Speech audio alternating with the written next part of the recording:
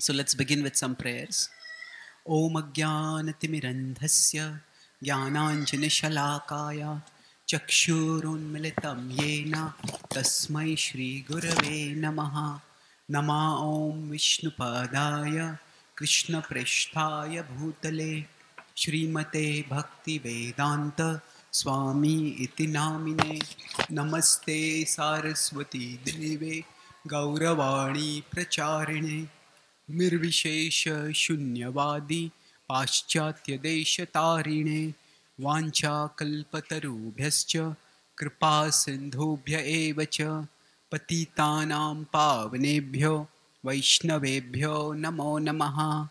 जय श्री कृष्ण चैतन्य, प्रभो नित्यानंद श्री अद्वैत गदाधार, श्रीवासादि Gaura भक्तवृंद Hare Krishna Hare Krishna Krishna Krishna, Hare Hare.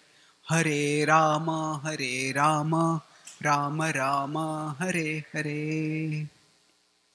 Hare Krishna.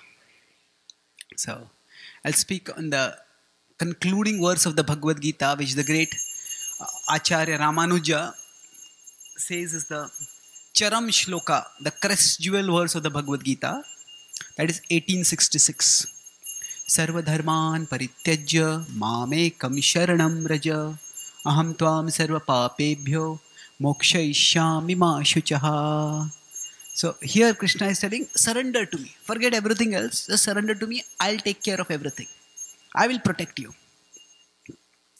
So recently I was a part of a workshop given by multiple speakers. It was uh, directed toward people who are not very familiar with uh, Krishna consciousness, with bhakti wisdom in general, and primarily from a non-Indian background. So the speaker before me had spoken out surrender to God. And when I started, we had some question answer session. So the, the first question that came up, one person asked, he says, uh, Why do I have to surrender to God? I didn't even know that I was fighting with God.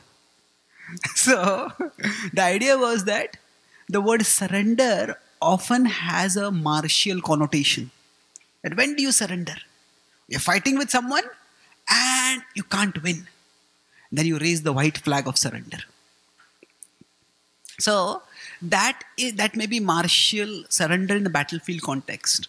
But what the Bhagavad Gita is talking about is devotional surrender.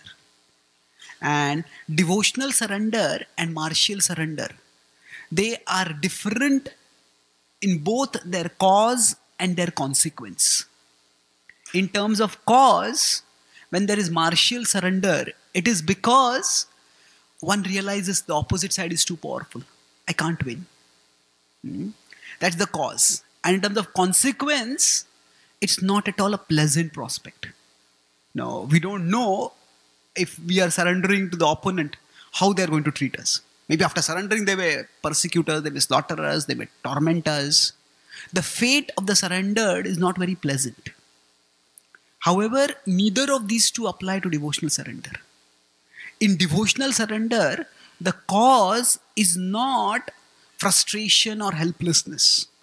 The cause is affection. The cause is love. Just like when two people are in love, they may say, you know, your wish is my command. What does that mean? That I want to please you. Therefore, I'll put aside my plans and do what you want me to do.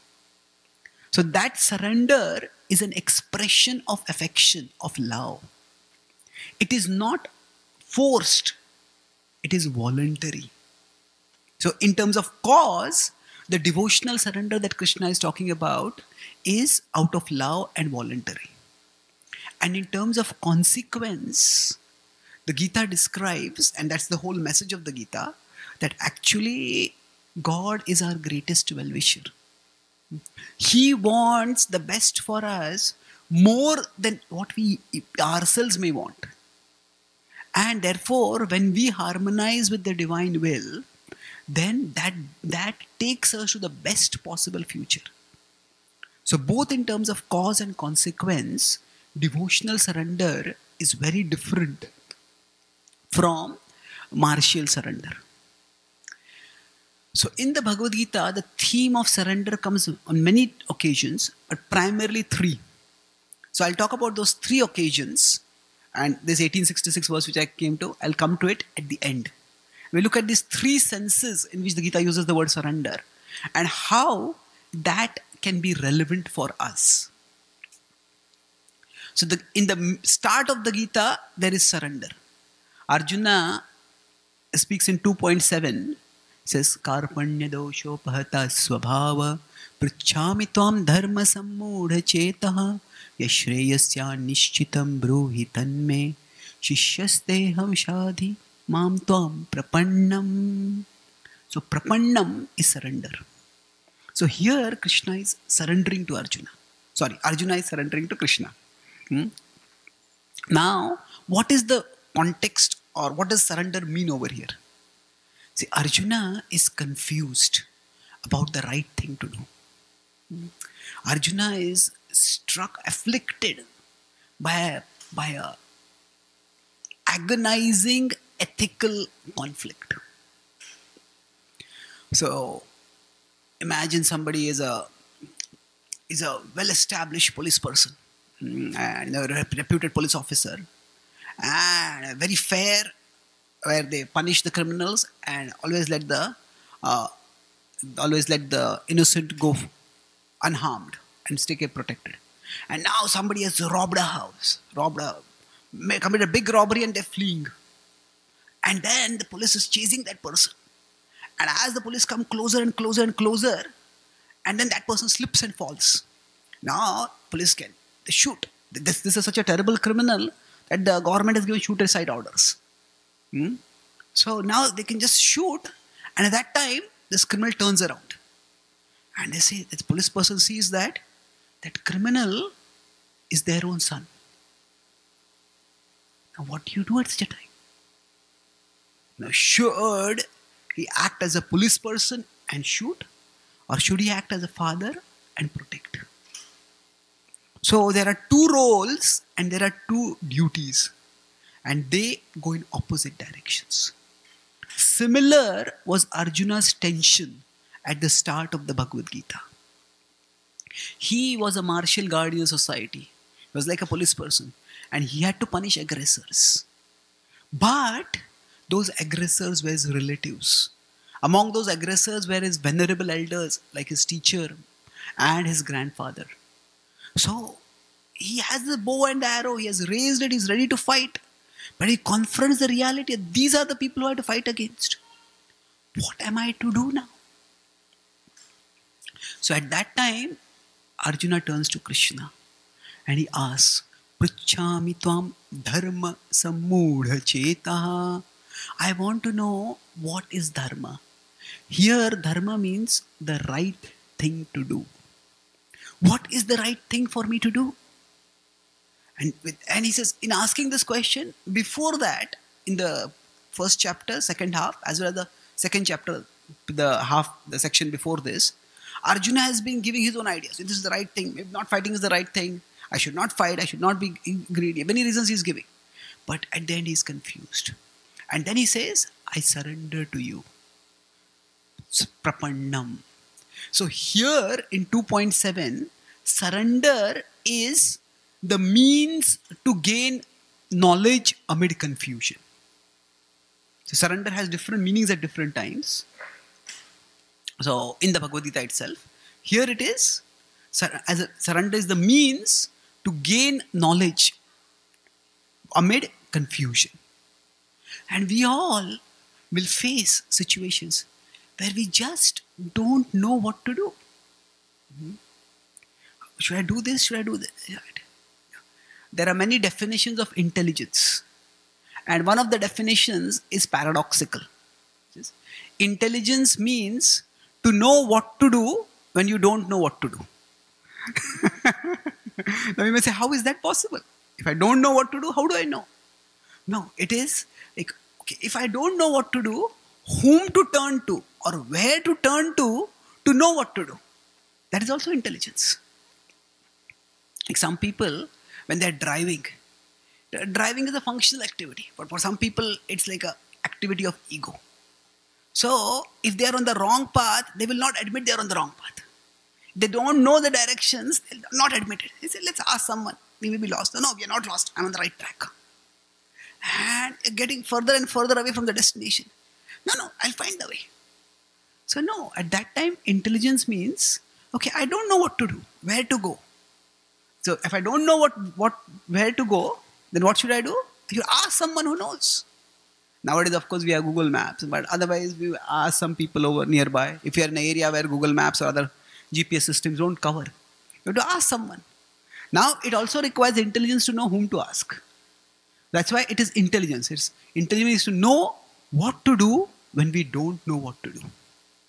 And that willingness to turn towards someone who is more informed or wiser than us, or at least more expert in that particular area, that willingness is itself an expression of surrender.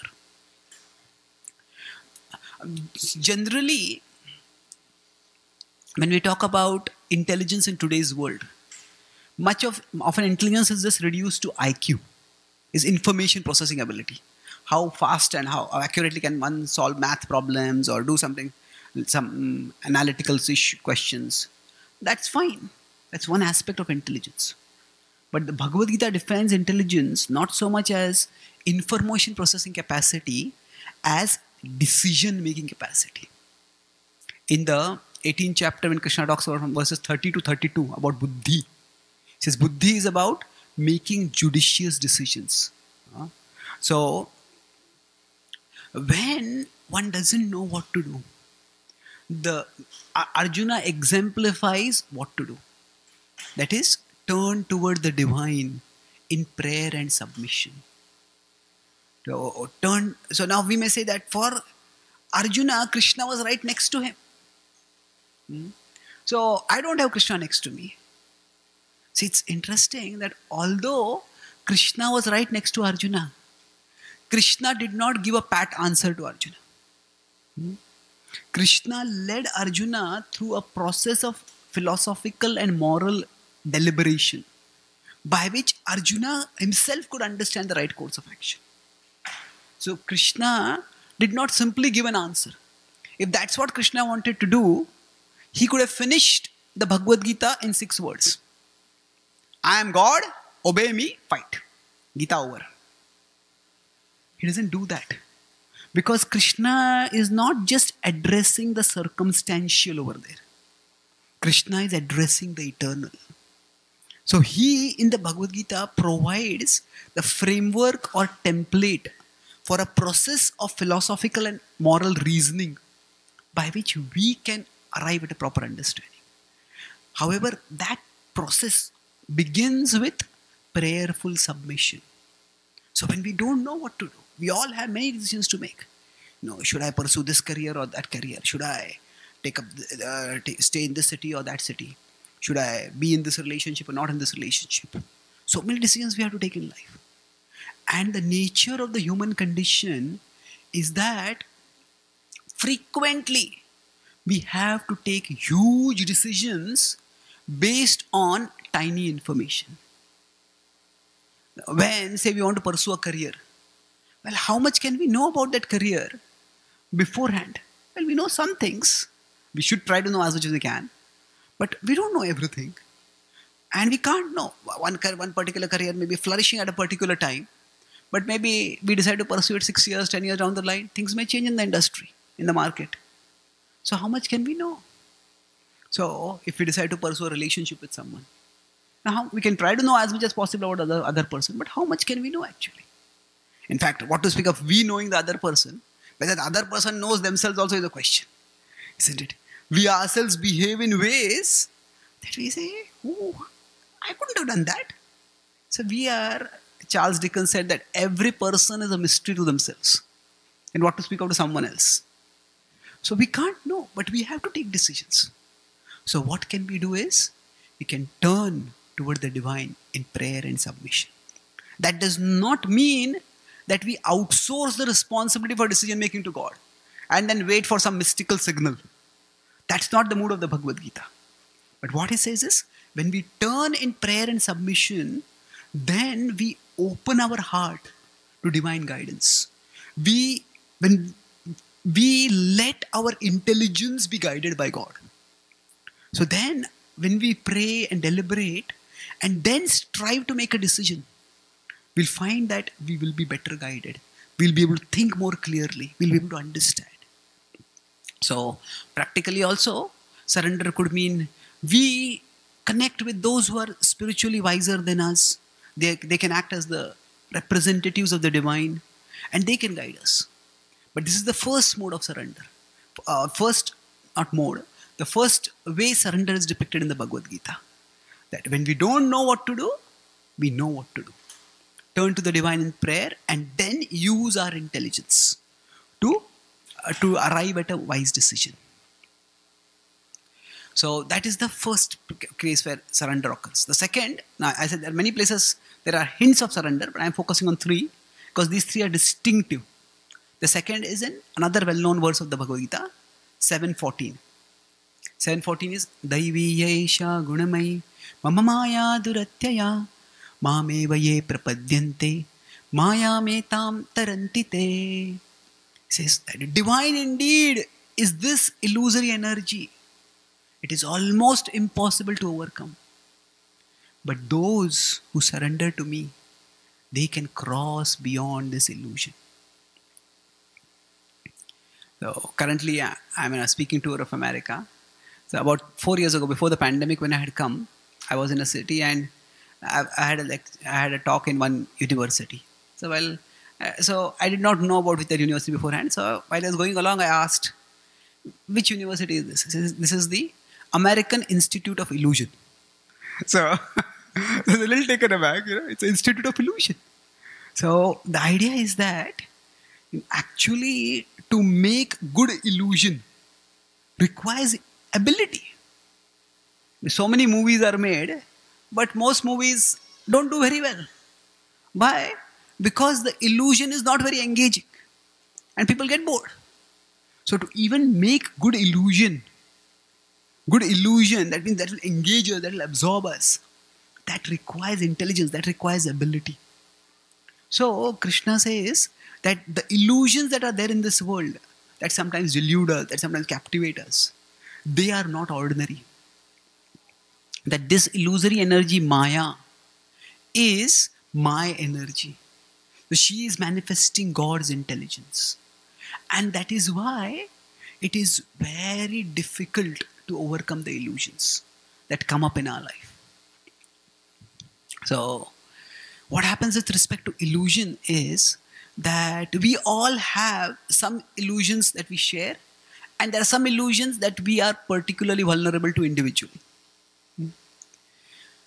Sometimes people ask, I was in Australia when I was asked this question that if God wants us to do the good thing, the right thing, then why are there so many bad options?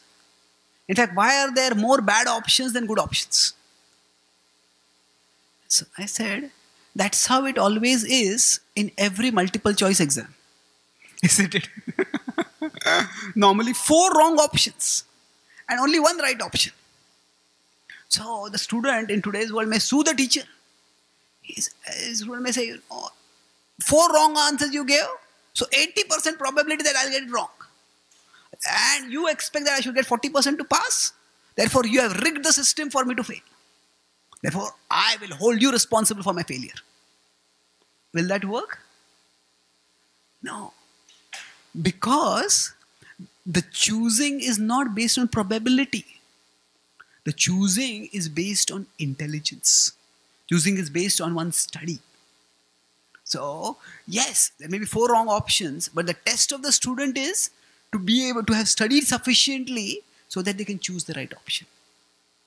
In terms of number, yes, the wrong options are more, but that doesn't rig the system against the student. So, similarly, in the world, there are many options. In fact, the world broadly serves two purposes one is experimentation, and the other is redirection. We all want to be happy. And actually, we are made in such a way that we can be happiest when we connect with the divine in love. In fact, love is the purpose of existence. But not just the love that is talked about in romance novels and romantic movies.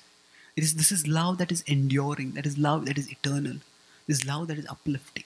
It is love between humanity and divinity. And then that foundational love, love for each other. So that can give our heart the greatest fulfillment. But unfortunately, uh, we have our own conceptions of what will make us happy. And because of that, we try, maybe I'll try this, maybe I'll try that, maybe I'll try that. And we keep trying hundreds and hundreds of things. And so the world is a place where we can do experimentation. See, God does not want to force us. Say, if a boy proposes to a girl, please marry me. And she says no.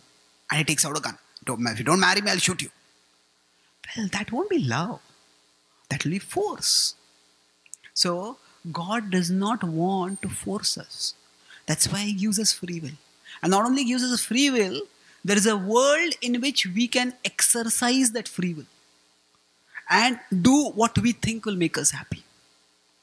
So the multiple options that are there, they are for us to try out our ideas of what will make us happy.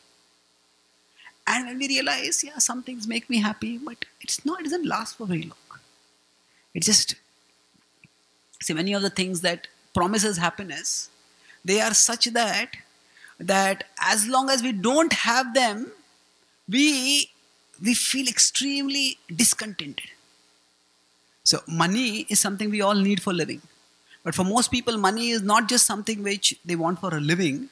For people, money becomes their whole, not just the means of living, but the purpose of living. So money is not just indicative of their net worth, money becomes indicative of their self worth. And then what happens?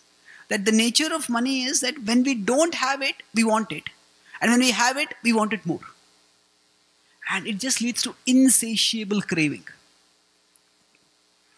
It's like, and the same applies to sensual. The same applies to sensual pleasure. When physical physical enjoyment through the senses people are seeking, there's some sociologists nowadays people do surveys of everything so the, most people, when they're engaging in sensual pleasure, most people they find they're bored. It's before that there is craving, but during the moment, it's like okay, it's oh, it's anticlimax. So most of the things we think will make us happy, they don't really make us happy. They give a little pleasure, but it, it disappears after some time. That's the law of diminishing returns.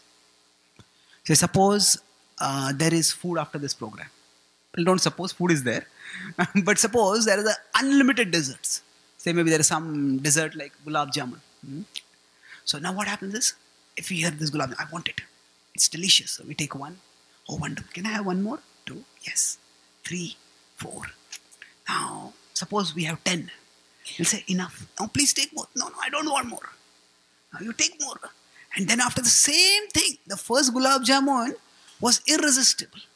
But if we take, if the 20th gulab jamun is offered to us, the same thing which is irresistible will become unbearable. Ah, no, I feel like I'm going to throw up now. So, so is the pleasure in that object? If it were in that object, why does the 20th iteration of that object not give us the same pleasure as the first? So it's yeah, it's not that the pleasure is not there in that object, it is not only in that object. It is in our imagination that surrounds that object. And to the extent that imagination gets depleted, to that extent, the pleasure also gets depleted. So the imagination gets dissipated. The imagination gets dissipated by collision with the hard rock of reality. Then the pleasure also disappears. So we have many things which you can seek for pleasure. But it is when we turn towards the Lord in devotion and then use all our talents and abilities in his service, we get the highest fulfillment. So, so this illusion, overcoming that, we, may, we all have this understanding that, okay, certain things are good, certain things are bad, but we are unable to give it up. Hmm? So, uh, it's like, there was one, one singer, pop singer, he said, you know, like, you treat me badly, I love you madly. You treat me badly, I love you madly. You know, that is the case for all of us. probably we can say this with respect to addicts. You know, they get into so much trouble because of the object of addiction, and yet they crave for it madly. But to a lesser degree, all our attachments are like that. You know, we get into trouble because of our attachments. Because of them, we, we suffer, but still we love them madly. Because that illusion doesn't go away. That illusion just stays. And you may say, may, somebody may uh, drink a lot and they get a hangover. And it's such a splitting headache and such a nauseous, nauseous feeling. I'm never going to drink again. And within a few days, the next party is there. When are the drinks coming? So what happens is the illusion stays on. So Krishna says the way out of the illusions that are bedeviling us is by surrender. So first was more you could say ignorance about the right thing to do. The second is illusion in terms of the inability to do the right thing. There's a difference. Here, I know what is the right thing, but just when the temptation comes, I just completely forget. I just can't resist. It seems like a F2 button is pressed in our memory. Delete. And then whatever resolutions are there, all evaporated. So to overcome that is surrender. Now, what does surrender mean in this context? Here, surrender basically means that we hold on to God through the process of bhakti, through the practice of bhakti. First surrender was openness to guidance. But here, surrender is like holding on if we are in a wave, if in an ocean, and waves are coming. The waves are giant, they will buffet us, they will knock us away. We can't fight against the waves ourselves. But if we have an anchor that we can hold on to, then by that the strength of hold that anchor, we will avoid getting swept away. So we can't fight against illusion by focusing on how it is an illusion. It, it won't work. If somebody says, I'll sit and look at temptation and deconstruct it. Well, no, it will deconstruct our determination. It won't work. We have to direct our focus towards something higher, towards something fulfilling. So the practice of bhakti yoga enables us to focus our consciousness on God. So when we chant the holy names, when we hear spiritual wisdom, when we pray and worship the deities, when we come in sacred holy association, by all this, we are holding on to the anchor that is God. And then, whatever illusions may come, whatever may divert us from our path, those illusions we'll be able to overcome. It's amazing. Uh, people all over the world have experienced there's some habits they're struggling to give up some unhealthy habits and they couldn't. And they started practicing bhakti and it's almost like magic. Those habits just seem to lose their hold, lose their grip. Of course, some habits take more time than others, but the transformation happens. So, surrender is for protecting ourselves or freeing ourselves from illusion.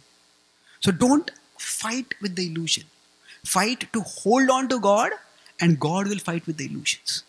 If we try to fight with our illusions ourselves, they're too strong. They will overpower us. So that is the second mode of surrender. The third mode, this I'll conclude and we'll have a few questions. This is what Krishna talks at the end. He says, Give up all ideas, sarva dharman parityajya mamekam sharanam vraja. Now, this literally this verse can be very confusing. Why? Because dharma can mean many things. So I was in India at a Gita recitation uh, program. They asked me to give prizes over there, and they were. Uh, this was a general Hindu festival, so they're reciting. And when the kids were reciting this verse, they said that reciting is Sarva adharman parityajya mame kam sharanam vraja. So then I asked the organizers, this verse is Sarva dharman parityaj. Why Sarva adharman parityaj? So he said, he said, actually it doesn't make any sense. God has come to establish dharma, God has come to establish virtue. Why will he tell everyone to why will he tell, tell us to give up virtue? He said, say that. We thought that actually when the Gita was written down, there was originally an A. But that A was forgotten by some transcriber. So we are putting back that A. So now this is foolishness. Actually, for Arjuna, there was no question of adharma. He was a very virtuous person. So it's uh, he doesn't have to be told to give up all adharma. It's like a person who is extremely honest. You tell them, you know, you should not murder and uh, murder people. What? You know, what are you talking about? So that doesn't make any sense. But sarva dharman parityaja, what it means over here is that you have your conceptions of what is the right thing to do. Hmm? Just put aside your conceptions. Mam ekam sharanam braja. Just do my will. So here surrender means doing God's will. And that is what this is 1866. Seven verses later, Arjuna speaks. And Arjuna speaks his conclusion, his understanding of the Gita. And what does he say over there?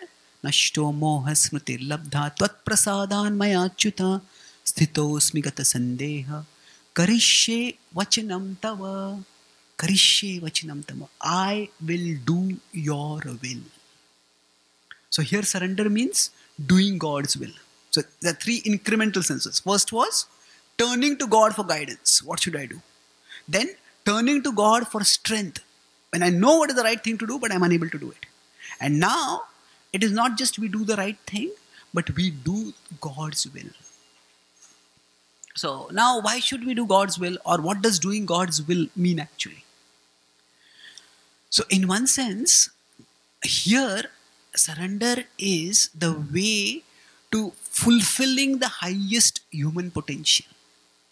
See, God is not like some arbitrary person, like a taskmaster who will just tell us to do whatever they need us to do. Now, God is our greatest well wisher.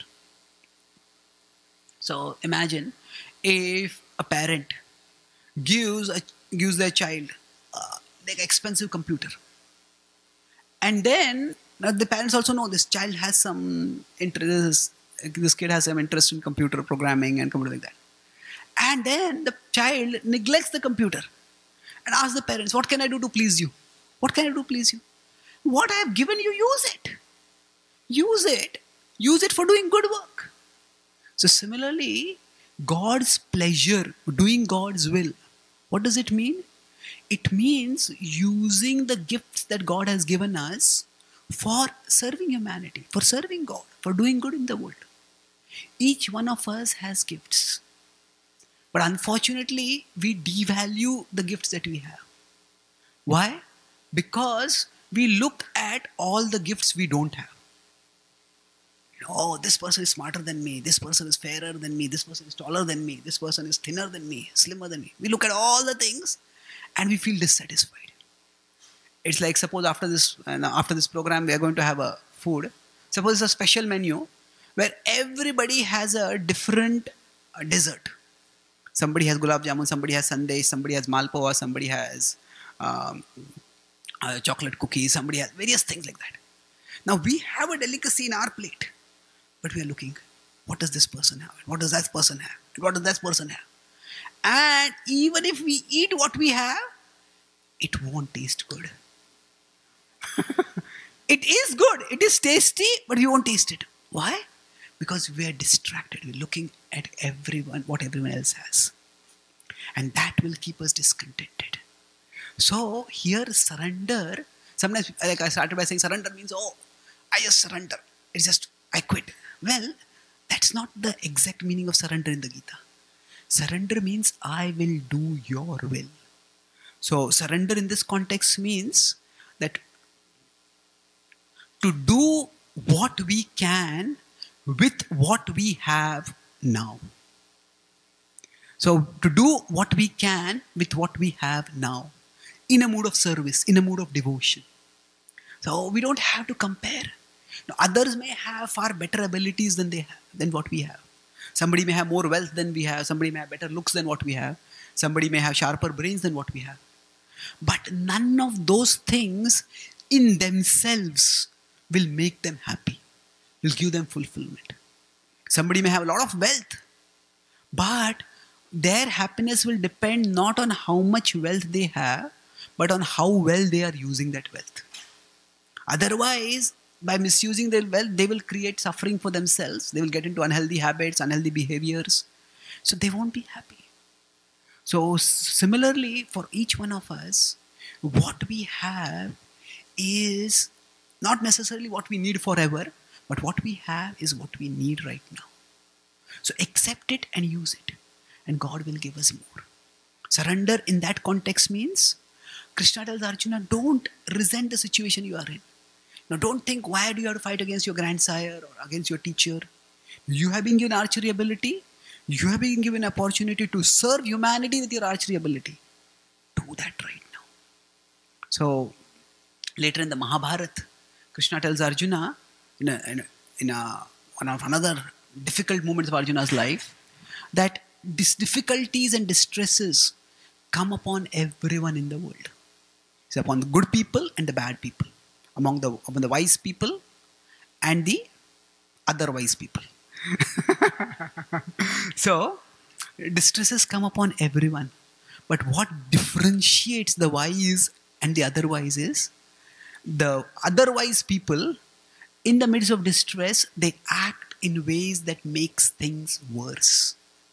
Whereas the wise people act in ways that makes things better. So we may have some distress. You know, oh, you know, this person has more friends than what I have. This person has more Facebook followers than what I have. You know, that can be a big crisis of not just uh, it can be identity crisis for people nowadays. You know, I posted this and I got only five likes. He or she posted, then they got 25 likes. What is the use of my life? it can become like that. But the point is that rather than worrying about this. You know, who has how much influence, how much followers, how much possessions. We focus on, okay, that can be a source of distress for me. But what can I do to make things better? If I just crave for what they do, what they have or lament about what I don't have, I am only making things worse. But what I have, I try to use it constructively. Use it in the mood of service. And we'll find that therein we will gain contentment. If we just take the responsibility to use what we have in a mood of service, we'll find our life becoming our life becoming filled with meaning and eventually filled with fulfillment. Now, happiness does not depend on what we have. It depends on how we use what we have. It depends on how we take responsibility for using what we have. And that, so ultimately, doing God's will, it's not that God has to come in some mystical revelation and tell us this is what my will is. Yes, there are certain things God wants us to connect with Him in devotion. So, praying to Him, chanting His names, understanding the wisdom that He has given us, that is His will, definitely. But along with that, His will is that whatever situation we find ourselves in, we act to make things better we act in a way using whatever abilities we have to make things better. Srila Prabhupada is an example of this. Srila Prabhupada, in one sense, he was, he was, always a great enlightened soul. So he would, was not having ignorance or illusion. But the third mode of surrender, when he was in India, nobody seemed to be interested in spiritual knowledge of the Bhagavad Gita. So what did he do? I am going to do God's will. So he decided to come to America and he composed a song while he was coming to America. And what in that song he says, My dear Lord, I don't know what why you brought me here. Why have you brought me here? I do not know. But you must have some purpose. So, nachao, nachao, Prabhu, nachao se mate. Kashtera putali jata, nachao se mate. My dear Lord, make me dance. Make me dance. As a puppet, master makes a puppet dance, make me dance. Now, this is not giving up of one's independence or intelligence. Prabhupada was using his intelligence. Okay, here, here we can share bhakti more effectively. Here, people are not interested. This is an opportunity. Prabhupada was using all the intelligence he had.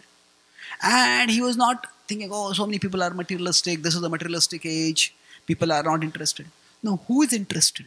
What can I do to make things better? And if we try to act in that mood, if we try to make a positive difference, no one knows how much of a positive difference we can make. God can empower each one of us to do far more than what we think we are capable of. In fact, discovering how much of a positive difference we can make, that can be our life's greatest adventure. And surrender, in the sense of that willingness to act in harmony with the divine will, to use the gifts that the divine has given us that surrender is the is the opening of the door to life's greatest adventure.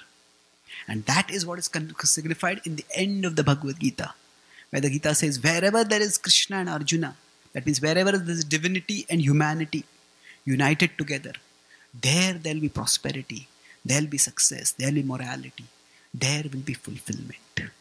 So, this is how the Gita is a guidebook for life, helping us to overcome ignorance, to overcome illusion, and to maximize our human potential and our contribution in the world thereof.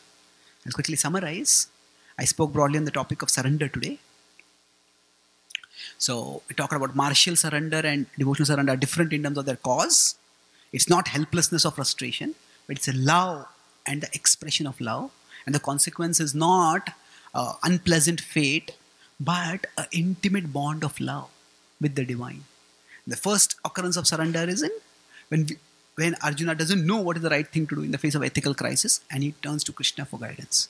So this surrender opens us up to the definition of intelligence as to know what to do when we don't know what to do. Krishna doesn't give pat answers to Arjuna, but guides him through a process of moral reasoning. So, like that, when we, we, we are faced with indecision, we can pray to the divine. And then, with that divine light illumining our guidance, our intelligence, we can move toward judicious decisions. The second definition is after 2.7 is 7.14 that surrender enables us to overcome illusion. That even when we know what is the right thing to do, sometimes we get captivated by illusions. The world is meant for experimentation and redirection. So if we have our own ideas of what will make us happy, the world gives us forum for that. However, if we want to turn toward the divine, we have that opportunity also. So rather than fighting against the illusions that bedevil us, we focus on connecting with the Lord. And He will fight against the illusions. He will help us overcome our unhealthy hang-ups or whatever it is that eludes us. And the last was surrender means to do the will of the divine. And God's will is what? It's like a parent has given anything, something valuable to the children, want children to use it fully. So God has given each one of us gifts. So instead of looking at what gifts we don't have, we focus on what we have and use them in a mood of service. Instead of feeling distressed because of our situations or comparison with others, we think, what can I do to make things better? And if we act in this mood of service, you know, who knows how much of a positive difference we can make? Discovering that how much positive difference we can make can be our life's greatest adventure. The Gita is a call to each one of us to join in this ultimate adventure. Thank you very much. Hare Krishna.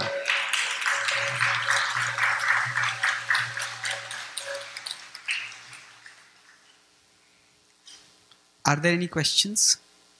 Yes, please.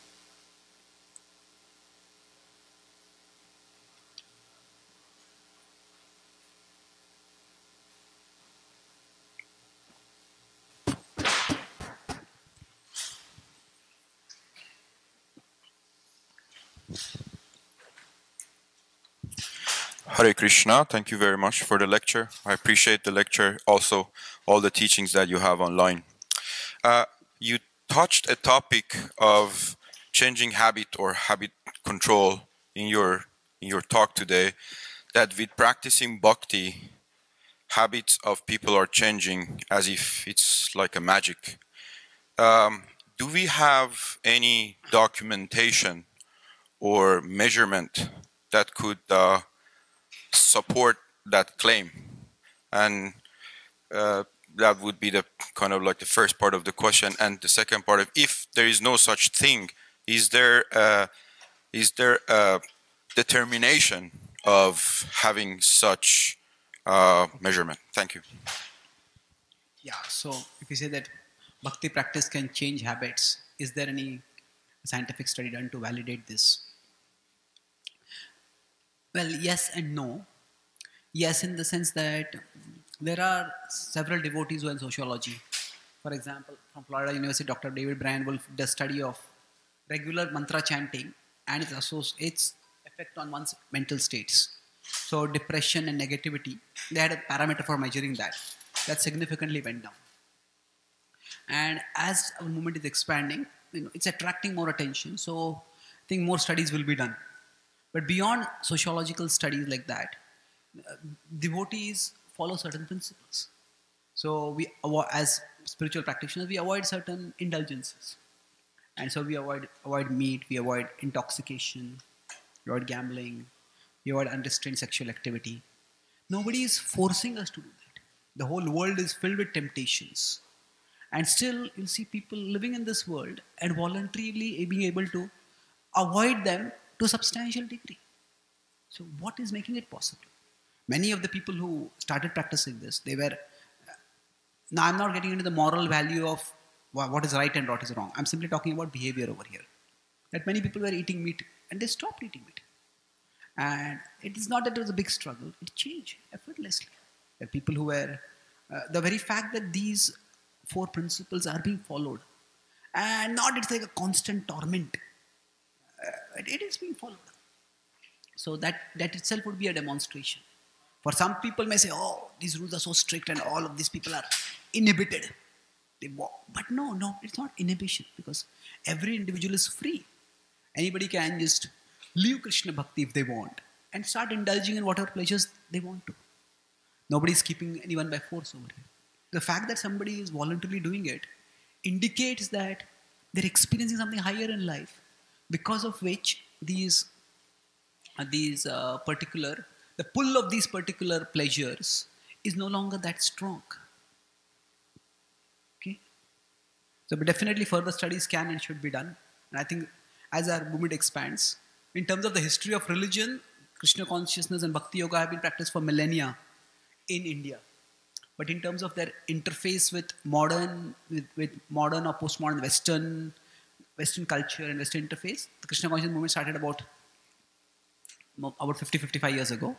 So we are growing and definitely such studies will be done in future. Yes please. One sec. One second. So, Prabhuji, we already have proof. We already have statistics because when Prabhupada, Srila Prabhupada came to US, his first disciples were hippies who were taking LSD. And it was, they have, they were womanizers, they were intoxicated most of the time. And those people, because of chanting and because of bhakti, they changed. So that proof is already there, I think. That, Yeah, that is- bhakti definitely. is Thank you. bhakti is what really helped them get out of all their intoxications and addictions. Yes. So I just wanted to add. Thank you. Yeah, that's a good point. It's definitely true. I just didn't mention that because that's not been, so you could say empirical, so sociology itself was not developed at that time so much. So that's why it's not empirically documented in sociological studies, but it's a well known fact. We talk with the first person testimony of people, then definitely we'll see that. Yes, please. Actually, I can give a first person testimony for that. So, um, at one point in my life, I was on psychiatric medication for like mood stabilization. Uh, but then I started hearing about Krishna and I started hearing, you know, how they say you should hear about him. I started hearing about him, listening to his bhajans, reading about him, and uh, I completely went off medication, never needed it again. So it really works. Yes, yes. Hari Krishna. Thank you for sharing that. Wonderful. Yes. Close. Speak close. Hare Krishna, Prabhu. Thank you so much for your class. Um, just, sorry, one minute. I would Yes. just add one thing. So we are not saying that you chant Hare Krishna and stop taking medication. That's not the point over here. Because uh, in some cases, sometimes clinical depression may require medication. But what happens is some people think med- you can't solve mental health problems just by popping pills. There is a multifaceted approach. And sometimes when one finds higher meaning, higher fulfillment, then the pharmacologic, pharmacological dependence may dissipate completely. Okay, thank you. uh, Hare Krishna, Prabhu. Thank you so much for your class. Um, so I, you had made a very, very interest, very useful point actually, where you said, "What can, uh, especially when you're tempted with illusion, you can ask this question: What can I do to make things better?" So I've heard you many times, and I try to implement this, but I've noticed myself it's very difficult during the time. I'm like super caught up with other things, and maybe a few hours after, I start thinking, "Oh, I remember hearing this." So I'm curious, how do I potentially, um, I would say, keep remember it at that moment, or how, I mean, is it what's the strategy to actually remember at that point? Okay. So if we want to act in ways that make things better, but in the heat of the moment we tend to forget and we act impulsively. So how, how can we remember that more promptly? Well, mm, the pathway to greater self-awareness is through self-awareness. What I mean by that is that at least it is good that later we realize, oh, I could have remembered at that time. Hmm? Like some people, they commit some terrible mistake.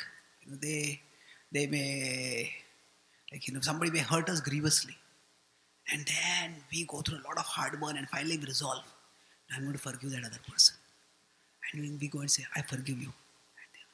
What did I do to deserve forgiveness? So they don't even know they did something wrong. So that is a terrible level of we could say self unawareness. So even if we after doing something that is that we will not be proud of, later at least we realize that is also a level of self awareness. So you could put it another way to put it even lack of awareness or lack of self awareness is a level of self awareness. Because some people lack self awareness and they don't even know that they lack self awareness. So they just do foolish things, they do terrible, th- hurtful things, and they go on with it. So don't feel discouraged. At least later I'm realizing it.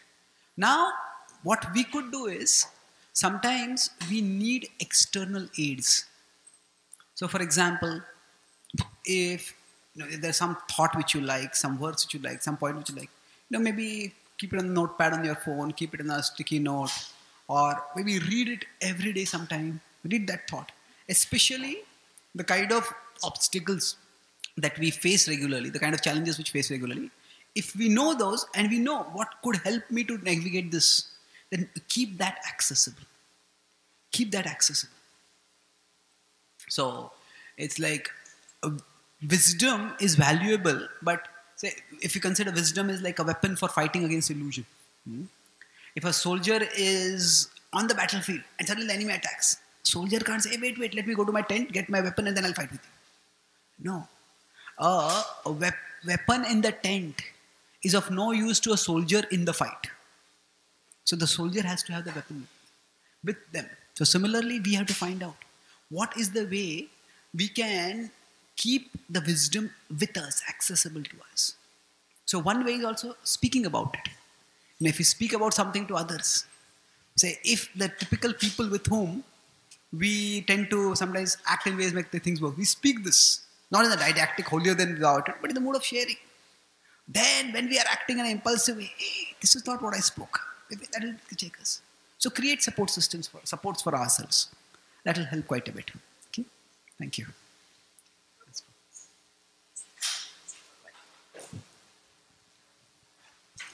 Hello. Uh, hi, um, I'm Pranav, and uh, hi. Uh, so thank you for your lecture. I really enjoyed it. So myself, I'm a PhD, and I'm working at UCLA right now. And today's my first day. I really enjoyed it. So I have a question regarding the fulfillment and contentment you were uh, talking about. So um, the pleasure or the contentment that a lot of us are seeking um, on a constant basis through our careers is through career growth Okay, so my question is regarding career growth.